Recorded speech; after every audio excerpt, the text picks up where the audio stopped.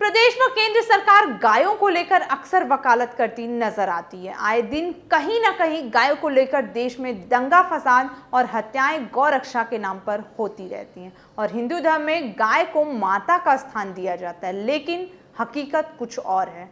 आज आपको एक ऐसी हकीकत दिखाने जा रहे हैं जिसे देखने के बाद आप दंग रह जाएँगे। तो आइए आपको दिखाते हैं कि क्या है ये पूरा मामला। सिद्धार्थनगर ज़िले के ढेबरुआ थाना क्षेत्र के झकहिया चौराहे के पास हाईवे पर एक गाय मरी पड़ी हुई है और इस हाईवे का रास्ता पड़ोसी देश नेपाल को जोड़ता है।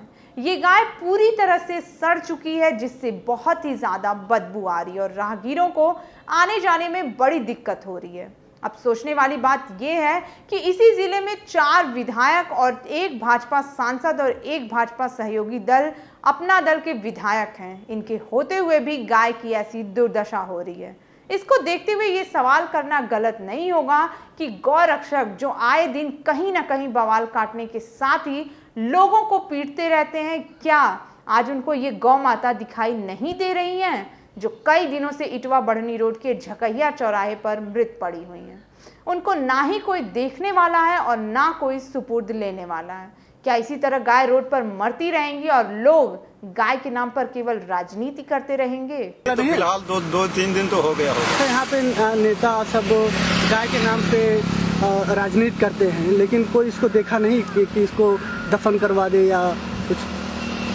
यहाँ की जो कानूनी व्यवस्था है ना वो इतनी भ्रष्टाचार है कि लोग वहाँ दिल्ली के संविधान में बैठ के बहुत बड़ी बड़ी बातें हाँकते हैं लेकिन उनको ये पता नहीं कि आगे क्या हो रहा है। अच्छा यहाँ पे गाय भी पड़ी है मरी इसको लेकर कोई नहीं देख रहा है?